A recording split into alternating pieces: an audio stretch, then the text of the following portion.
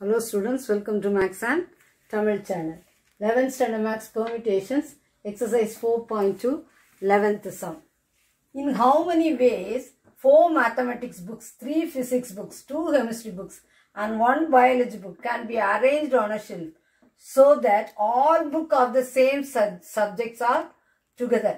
இந்த maths புக்கோ physics புக்கோ chemistry புக்கோ biology புக்கோ அந்த ஆர்டர் அப்படி தான் இருக்கணும் M one maths புக்குனா M one M two M three M four இந்த ஆர்டர் சேஞ்ச் ஆகிக்கலாம் பட் மேக்ஸ் புக்னா மேக்ஸ் புக் தான். மேக்ஸ் புக்குக்கு இடையில என்ன வரக்கூடாது? ஃபிசிக்ஸ் புக்கோ கெமிஸ்ட்ரி புக்கோ வரக்கூடாது. மேக்ஸ் புக் அப்புறம் ஃபோர் மேக்ஸ் புக் இருக்கு த்ரீ ஃபிசிக்ஸ் புக் இருக்கு two chemistry book biology book ஒன்று இருக்கு. ஃபர்ஸ்ட் இப்போ இதை இந்த நாலு புக்கையுமே எப்படினாலும் அரேஞ்ச் மேக்ஸ் புக் அங்கே வச்சுக்கலாம் ஃபிசிக்ஸ் புக் எங்கே வச்சுக்கலாம் கெமிஸ்ட்ரி புக்கை மாற்றி மாற்றி வச்சுக்கலாம். அப்போ four subjects can be arrange in four factorial ways ஒவ்வொன்றையும் பட் இந்த இது அப்படி சேமாக தான் இருக்கும்.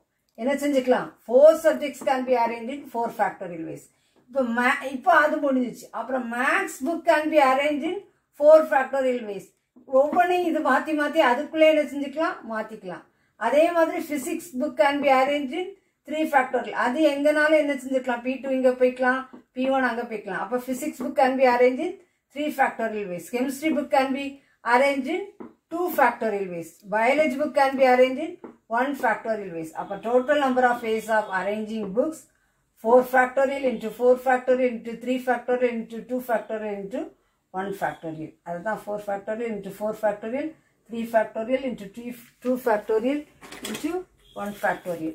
இப்போ 4 factorial 4 into 3 into 2 into 1. இந்த 4 factorial 4 into 3 into 2 into 1. 3 factorial 3 into 2 into 1.